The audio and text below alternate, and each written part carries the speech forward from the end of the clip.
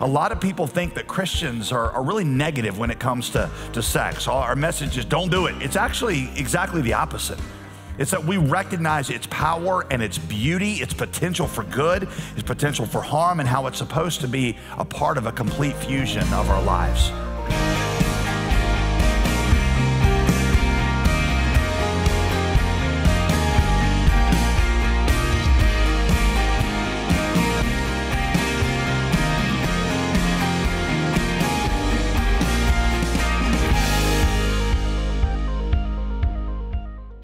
Know, what you think about marriage affects the way that you view so much more of life. At the end of the day, topics like dating, conflict, and even, even singleness are ultimately filtered through the lens of marriage. Wait, you say, so even if I'm single, my singleness is actually shaped by my thoughts on marriage? I know that doesn't seem possible, but I am here to tell you today that that is 100% true. Today, we're going to talk about how the gospel message shapes the essence and the purpose of marriage and teaches us why, no matter what you've been called to, whether marriage or singleness, you're going to need God's help in order to accomplish it. So, like we're going to do every single day here on this program, I want you to grab your Bible and let's see what God has to say about this important topic. I think it'll be an encouragement to you. Let me state the obvious, okay? Uh, the obvious is that romance and marriage have great potential for good in your life. It really is one of God's greatest gifts to us. But the flip side of that is because it has great potential for good, it also has great potential for harm. I mean, just think about it. Ask most people, for most of you, if you were to recount your most painful memory, chances are it's going to have something to do with, with some kind of, of heartbreak in, in, in romance or in family. If you ask somebody to tell you about their greatest mistake that they've made. It's almost always related to something, uh, something sexual. When people come into my, into my office and they sit down and they say, Pastor, I've, I've never told anybody this, and I've got to tell you this, it almost always is almost always going to be related to sex. And in some ways, um, I've heard it said you could think of sex and um, romance. Uh, you could think of it like, um, like, a, like a gun, like a pistol. When my dad taught me how to use um, a gun, the first thing he taught me to do was respect it. Uh, he said the worst thing uh, is somebody grabbing a, a, pistol and waving it around with no idea of what it can do. My dad would tell me, he said, never point that at something that you don't intend to shoot. Well, the same thing is true for, for romance. If you don't respect it, if you don't understand its power, then it could do you and it can do other people great harm. Um, this, this Bible, this Bible that we open every single weekend. This is the recounting of God's intentions, His design for sexuality, his design for marriage, his design for romance. It explains what it is, what it's for, and how it's supposed to work. Um, after I got married, Danny Akin, who is a president over at Southeastern Seminary and um, a friend and in many ways a mentor of mine, he told Veronica and I, um, he, we were sitting there having dinner with him, and he said, Listen, there are two things, there are two things that you need to understand to have a happy marriage. He said, The first one is that God is the author of all of it, and his word instructs you on the best way that you can set it up. He said, If you want to have have a happy marriage, if you want to have a fulfilling um, romantic life, a happy family, you need to follow God's counsel as carefully as you can. He said the second thing you need to understand is that, is that when it comes to marriage, men are a lot like dogs and, and women are a lot like cats. Uh, Veronica and I kind of looked at him sort of quizzically, and he was like, Yeah, men are like dogs. He looked at my wife and he said, How do you make a dog happy? Three things. So you want to make a dog happy, you feed it, you praise it, and you play with it. He said, if you, wanna, if you want to make JD happy, he said, that should be your guide. He said, how are women like cats? I said, he said, well, how do you make a cat happy? I said, nobody really knows. But whatever you did the first time probably is not going to work the second time. So that's going to be your assignment as you go through this. Um, this series is going to be more about Danny Akin's first piece of counsel about what God's word says about marriage and romance and family and, and less about the second. But it's going to be great, I think. Matthew chapter 19 is where we are going to be. Um, we're calling this series Forever Family. And the idea comes from an answer that Jesus gave to a, a controversial question that he was asked there in Matthew 19. And the answer that Jesus gives, he introduces a a new outlook on marriage. At least I would say that it's going to be new for most of us. Uh, a new outlook on marriage that will reshape how we think about everything connected to marriage. Uh, connected to um, divorce is going to be the question that he, he talks about singleness, sex, conflict, and, and many other things. You might be sitting there and, you might be saying, Well, I'm not married, and I don't think I'm going to be married anytime in the near future. So, what's, gonna, what's this going to have for me? Ironically, this series might be the most helpful for you because you see, understanding God's purposes for marriage will help you understand how he fulfills those same purposes in your life in other ways when, when you're not married. Matthew 19, Jesus is hosting a, a live version of his own Ask Me Anything podcast. And the Pharisees, verse 3, came up to him and they tested him. They said, Is it lawful, Jesus, to divorce one's wife for any cause? Jesus answered, He said, Have you not read that he who created them from the beginning made them both male and female? And he said, now quoting from Genesis 2, the opening chapters of the Bible, he said, For this reason, a man shall leave his father and mother and cleave to his wife. And the two in that marriage are going to become one flesh. So they are no longer two, but one flesh. What God has therefore joined together, no man should separate. Now, before we get into Jesus' answer to the divorce question, let's just consider this. What is Jesus teaching us about marriage with this quotation and with his application of it? Because his thoughts about marriage are going to shape his, his answer to divorce and also going to teach us how to think about a lot of other things that are connected to marriage, also. Here's what he's teaching us. Number one, he's showing us that the essence of marriage is covenant. That word cleave that Jesus cites there in Genesis 2, um, in verse, uh, from Genesis 2 in verse 5, that word cleave in Hebrew literally means to make covenant. The essence of a marriage is covenant. Marriage, in a technical sense, is your public vow of faithfulness. Without that vow, you're not married. Having intensely loving feelings or affections for somebody doesn't make you married. I mean, for, for many of you, nobody seems to be more excited about you every day than your dog. When it comes to affection or loving feelings, your dog has those feelings, but that, dog, that doesn't make you married to the dog. In fact, when you think about it, the marriage ceremony is less about the state of your feelings in the present and the marriage is more about your promise to love in the future. You are covenanting to be tender, to be faithful, to be kind and compassionate and affectionate and patient from that point on. Um, when I've done weddings, um, a lot of times the couple will ask if they can write their own vows. And that's great. And I always say yes. But I always ask them if I can see their vows before they actually give them in the ceremony. Because a lot of times the vows that they write end up being a lot about how much they love each other now. Oh, you're awesome. And you just smell like rainbows and sunshine or whatever. But that's not really what a marriage covenant is about. Those things are sweet, yes, but the covenant is not about your feelings in the present. The covenant is about your promise for the future. Marriage is also not just an efficient system that God creates to, to propagate the human species or to, or, or, or to anchor society. Rapid, rab, rabbits and rats are great at rapid propagation of their species, but they don't get married. Marriage is a union, Jesus says, in which God fuses two lives into one. You see, verse six, what God has joined together, right? Nobody should separate. In a marriage covenant, your lives are intertwined in such a way that everything about you becomes one. Your future families become one, your future happiness and successes become one, your bank accounts become one, your emotional lives become one. All that culminates in sex where physically your bodies become one. And see, that's going to have massive implications for how you think about divorce, Jesus says, and we'll get to that in a minute. But it's also got massive implications for how we think about sex, which we're going to get to later in this series. You see, if God designed marriage as a total fusion of souls, then when you separate physical oneness, sex, from oneness in every other area, that's going to tear you apart at a fundamental level. You know, what makes a zombie creepy is that it's a body without a soul. Well, that and the fact that it wants to eat you, of course. But, but what, what makes a zombie a zombie is you got a, you've got a working body without a soul in there. Sex apart from marriage separates the body from all the other dimensions of the soul. And somebody says, But I really, really love this person. Yeah, I, I, get that. But you and I both know that without that covenant, you could walk away from it at any moment. The Creator's design for sex from the beginning is that it was to be experienced in a relationship in which that physical oneness is coupled by oneness in every other area. Again, we're going to get more to that later, but let me just say this right now, okay? A lot of people think that Christians are, are really negative when it comes to, to sex. Our message is don't do it, don't talk about it. I, am going to explain this to you later. It's actually exactly the opposite. It's that we recognize its power and its beauty, its potential for good, its potential for harm, and how it's supposed to be a part of a complete fusion of our lives. Um, that's number one, is that the essence of marriage is covenant. The second thing Jesus teaches us is that the purpose for marriage is friendship. Now, hear me out here, okay? Because I understand there are a lot of purposes for marriage.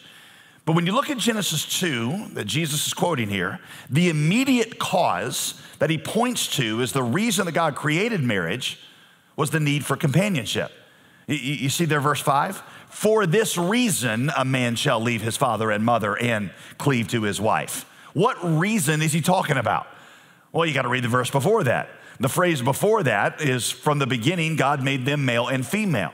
God's creation of the female was in response to a problem. And that problem, Genesis 2:18, was that it was not good for man to be alone. So God says, I'm going to make him a companion. About everything else that God had made, God said it's good. But for the man in his alone state, that was the one thing in all of creation before the fall that God looked at it and said, not good. God makes this statement before the fall, before Adam sins. That ache of loneliness is the one ache that we have that does not arise from sin. Adam, I explained to you, had a perfect quiet time with God 24 hours a day. And yet, still, even with a perfect quiet time and walking with God 24 hours a day, he still has an ache for human companionship. And that's because God created us in his image, and God exists eternally as a trinity in community with his equals. So God creates for Adam a companion, his equal, just from the opposite gender. The word that God uses to describe the, the woman that he made, ezer kenegdo, literally means alike but different. Somebody like Adam, somebody his equal, but also different, a different gender. In that way, their marriage would be like the Trinity. And it's same in the essence, in their essence the same, but in their person and roles different. The woman was created to be his companion, his equal, his friend. In fact, several times in the Old Testament, the marriage partner is called just that. In Hebrew, ahalup, which means a deep friend. By the way, I think I'm giving y'all some great nicknames for your boo, right? My, my, my, my, my, my hot halou, my little Ezer Kenegdo. That's better than Sugar Booger, I think. So if you want to impress her, you just call her your halou. But all this is why I say that friendship or companionship is the purpose of marriage. It's not the only purpose, but the immediate cause that Jesus pointed to is the reason that God created it. And you see, if, if friendship is the purpose of marriage, that's going to have massive implications for dating. Because if marriage is about friendship, friendship ought to be the basis of dating. You ought to be looking for someone who is your equal, somebody who can be your friend, somebody with whom you can share your deepest commitments. Which is why I say, if you're not a Christian, why the Bible says you should never date or marry somebody who's not a Christian. You see, for a marriage really to work, for it to be life giving and, and, and sustaining, you have to open up and share the deepest parts of yourself if it's going to be fulfilling. If you're committed to Jesus and that's important to you and your partner is not, then when you open up this part of your life to them, they're not going to understand it. Right? And you're going to feel violated because they don't share that thing that is deepest in your heart. I think of life, I've heard it said like rowing a boat. If you got people on opposite sides of the boat that are trying to row in two different directions, um, that's what it's like to, to marry somebody who doesn't share your faith in Christ. If it's important to you, you're going to constantly, they're going to constantly misunderstand you. You're going to, uh, when it comes to raising kids or when it comes to doing stuff with money and your future or when it comes to priorities in your life, you're going to be pulling in two different directions. Friendship is God's purpose for marriage, and that's going to have massive implications for dating. It's also going to have implications for singleness because what Jesus is going to, is to do is he's going to point to a union between members of his body that's stronger even than marriage, a family that is more significant even than our biological families are.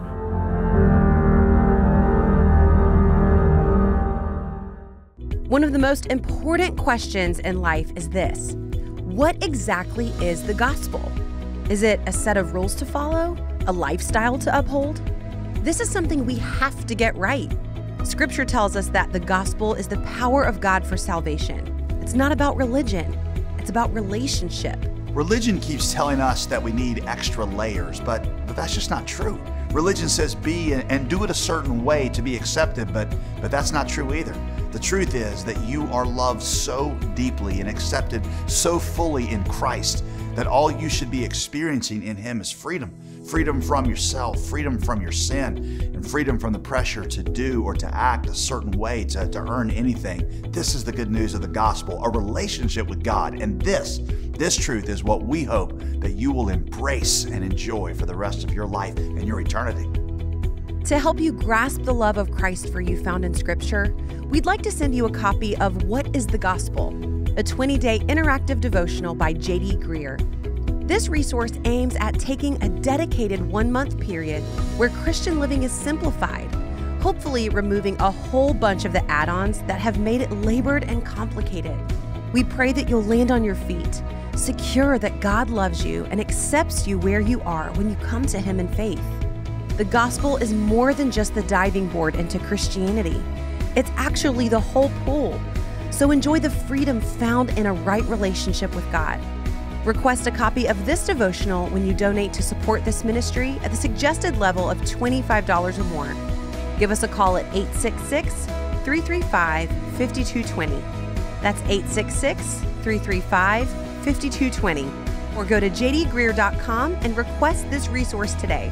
It's time to settle this question once and for all. So, number two, number two, we see that the purpose for friendship is marriage. Number three, Jesus explains that the pattern for marriage is the gospel. The pattern for marriage is the gospel. This might be the biggest idea of them all, and something Jesus only alludes to here. In Ephesians 5, Paul is going to quote the same passage as Jesus does, and he's going to explain that in that first marriage, God is giving us a picture of his love for his people. Now, again, Jesus only alludes to it here, but this is a huge idea. God designed marriage, Paul says, and everything that goes with it to give us a taste of His love. Not only is that going to give you a pattern for how you can love your spouse, but ironically, it's going to show you how you can be happy and fulfilled in a season when you're not married, even when you really want to be. How you can be content in a marriage that you're disappointed in. How you can be happy in an unhappy marriage. C.S. Lewis whom I obviously quote here a lot, um, he, uh, he didn't get married till very much later in life, and I think he was in his mid 50s. He compared the blessing of marriage to a ray of sunshine. He said, um, he said, you know, when the sun, when you walk out in the morning and uh, a ray of sunshine hits your face and it warms your face, he says, you look back up along the ray to the sun from which it emanates. He said the sun is the actual source. The ray is just the, the manifestation of it. Ray is like a, uh, I mean, um, marriage is like a, a, ray of the sunshine of God's beauty and his love. And if something in life obscures you from that ray, if a cloud um, comes between you and that ray, well, you're still in the presence of the sun. Even though the ray's not shining on your face, the sun from which it emanates is still something that is a part of your life right before I got married, the first time that I, went out with Veronica, I, I, went into my class the next morning, seminary class, and one of my friends who knew what and had gone out with Veronica the night before was like, "Well, what'd you, you know, what'd you think?" And so I whipped out of my um, uh, notebook a piece of paper and I just wrote down every adjective that I could think that described her. It was like 60 some different adjectives. And I put it on his desk. I said, that's what I think about her. And uh, then just, you know, he was like, I think he looked at it for maybe two seconds and handed it back and uh, meant more to me than, than to him, obviously. So, um, I, but I kept in my notebook and by the grace of God, you know, kept that notebook. Um, and then years or a couple years later, when we got um, when we got engaged, I was like, I wonder if I still have that notebook. Went back, found that list, got it framed, uh, and then on our wedding day, gave that to her. Um, and it had a little statement under it by C.S. Lewis that basically was, "You represent something that can never be taken away from me." And what I meant was, yes, there are situations where Veronica could be taken away from me. death could come to one of us, um, and she might not be a part of my life, but she represents something the beauty that I experienced through her, the love, the, the tenderness. Those are things that emanate from the sunshine of God's love that can never be taken away. And if some dark cloud were to obscure the ray, the sun of God's love remains. By the way, I hope that you'll start learning to look at all of the blessings of life that way. Um, the, the, the, the, attention, the tenderness I felt for my parents, that was a, a stand in for God's love. And so if your parents disappoint you, well, the ray's gone, but the sun remains. Um, the, the, the affirmation sometimes, the community that I feel from friends, those things are all manifestations of the goodness of God and experiencing them. I'm learning to experience goodness that comes from Him. Um, the sunshine, the, the sun itself, is God's love and His presence. One of the rays, one of the manifestations is marriage, and it's a great one. But C.S. Lewis said, and the Bible tells you, don't get fixated on the ray because the sun um, is what's important. So, those are the three things that Jesus teaches us about marriage. He teaches us, just in those few short statements, that the essence of the marriage, um, the essence of marriage is the covenant, the purpose for marriage is friendship, and the pattern for marriage is the gospel. Now, let's look at how Jesus uses those concepts to spell out what he's going to say is an obvious answer to the, to the divorce question. All right, what does Jesus teaching on marriage mean for divorce? Verse 6. Verse 6 Therefore, what God has joined together, no man ought to separate. Notice there, you got there at the end there, no, right? Just period. No comma, no, no, no fine prints, no recommended reading, period. End of sentence. If marriage is a covenant instituted by God to demonstrate his love, if marriage really is a fusion of two souls into one, he's saying divorce should never be an option. Ah, verse 7. They said to him, Whoa, wait a minute, Jesus. Why then did Moses, who was speaking under the inspiration of the Holy Spirit, why did Moses then command one to give a certificate of divorce and to send her away? At that point, if you're writing the score for this scene, you cue the dramatic music, because that was true. Moses had said in Deuteronomy 24 1, when a man takes a wife and marries her, if he finds any indecency in her, then, well, he could divorce her. And they're like, well, wait a minute, Jesus, you're saying we shouldn't get divorced, but Moses clearly says we could. In fact, they use the word command. He commands us to. Gotcha, Jesus. By the way, for the record, let's go ahead and say it. You should never get in a battle of wits with Jesus, particularly over the Bible. But the Pharisees were not always the spiciest Doritos in the bag, so they did. And Jesus looks back at them very calmly and says, Okay, it's because of the hardness of your heart. Moses allowed you to divorce your wives. He didn't command you, he allowed it. But from the beginning, according to God's original design, it was not so. Rabbis in Jesus' day taught a distinction, listen to this, between a command in the law and a concession from the law. The command, they said, expressed God's heart. The command reveals God's desires and his plans from the beginning. A concession was something that God allowed in society because of the fallenness of man, because we're broken people, in order to keep peace in a society that are filled with, with different ones of us at various levels of spiritual maturity. This allowance for divorce, Jesus said, it was never a command, and you know that, he tells the Pharisees.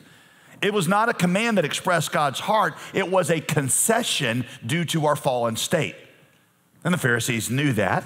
Many of the rabbis at the time taught the difference in a command and concession of the law. That wasn't something new with Jesus. But here was their trap.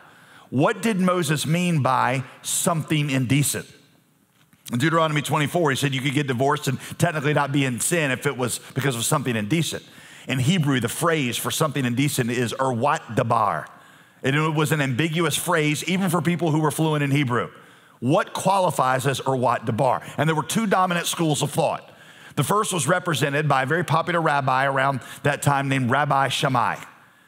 And he said, in that context, indecent, something indecent means only sexual indecency, meaning that Moses allows divorce only in cases where some sexual indecency has occurred.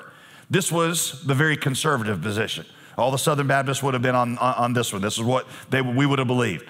On the other side, you had Rabbi Hillel. Hillel was the progressive thinker, the progressive rabbi. He, he lived over in Chapel Hill and he drove a Prius. Hillel said indecent means anything that you don't like about her. Maybe she was, has indecent behavior by talking too much at parties. Maybe she has indecent cooking skills. Maybe she has indecent morning breath. I'm actually not exaggerating the, uh, uh this. We have a record of Rabbi Hillel saying, if she consistently burns the bread erwat dabar, right, you may divorce her. Here's the thing most of the Jewish world was on the side of Rabbi Hillel, who was the more progressive thinker.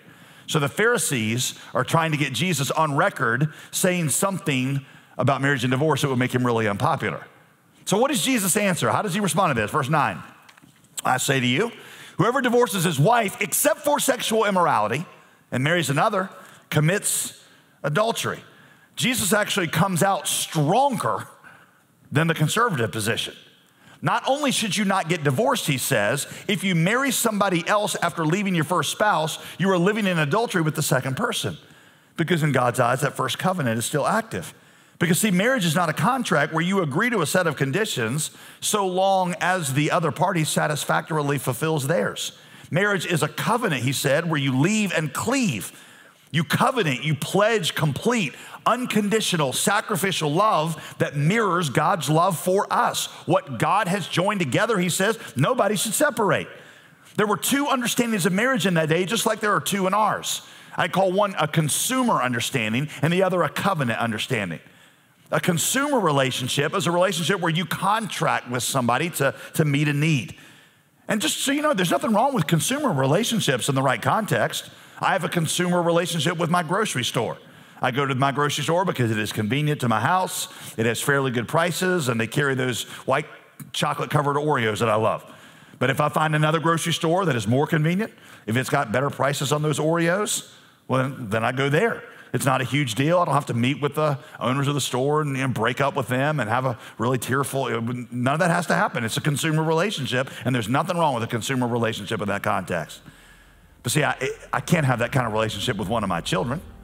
I don't go up to one of my children and say, you know, you know, Ryah, just things have really changed for me, and it's just just not working out anymore. It's not you, it's me. Well, God certainly has a lot to say to us about our, our most important relationships, doesn't He? I'd like to close our time with a, with a word of prayer. Will you join me? Father, I pray that these truths from your word, that your word would not come back void, that these truths would accomplish the purposes for which you've sent them to make the soul alive and to show us the way of life and how to exude your love in the lives of those that we care about the most. We pray and ask that, Father, in Jesus' name, amen. What exactly is the gospel? Is it a set of rules to follow? A lifestyle to uphold? This is something we have to get right. Scripture tells us that the gospel is the power of God for salvation. It's not about religion, it's about relationship. Religion keeps telling us that we need extra layers, but, but that's just not true. Religion says be and, and do it a certain way to be accepted, but, but that's not true either. The truth is that you are loved so deeply and accepted so fully in Christ that all you should be experiencing in Him is freedom freedom from yourself, freedom from your sin, and freedom from the pressure to do or to act a certain way to, to earn anything. This is the good news of the gospel a relationship with God. And this, this truth is what we hope that you will embrace and enjoy for the rest of your life and your eternity. To help you grasp the love of Christ for you found in Scripture, we'd like to send you a copy of What is the Gospel? A 20 day interactive devotional by J.D. Greear. This resource aims at taking a dedicated one month period where Christian living is simplified, hopefully, removing a whole bunch of the add ons that have made it labored and complicated. We pray that you'll land on your feet, secure that God loves you and accepts you where you are when you come to Him in faith. The gospel is more than just the diving board into Christianity, it's actually the whole pool. So enjoy the freedom found in a right relationship with God. Request a copy of this devotional when you donate to support this ministry at the suggested level of $25 or more. Give us a call at 866 335 5220. That's 866 335 5220. Or go to jdgreear.com and request this resource today. It's time to settle this question once and for all. God calls himself a divorced person. Which means if you're the kind of person that just feels like you're too good, you don't want anything to do with divorced people, you feel like you and your family are too good for them, right? Or you don't want your son marrying or daughter marrying somebody that comes from divorced parents, you're in the unenviable position of feeling like you are too good for God, which is not a place you want to be. Thanks for joining us today on Summit Life. You can visit us at jdgreear.com. You'll find resources, transcripts, and all of our teaching available free of charge. We'll see you next time for Summit Life with JD Greear. Today's program was produced and sponsored by JD Greear Ministries.